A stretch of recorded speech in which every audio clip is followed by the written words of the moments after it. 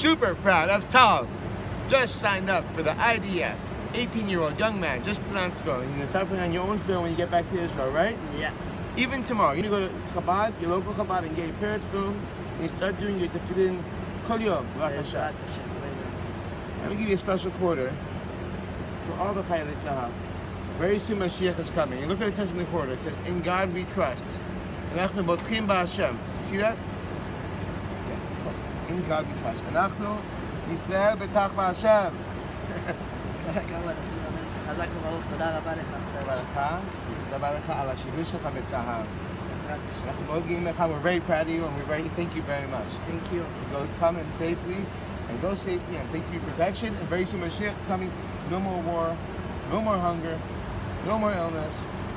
Just just love and peace, only good things. We want Mashiach now. Happy Hanukkah, good Chodesh. あの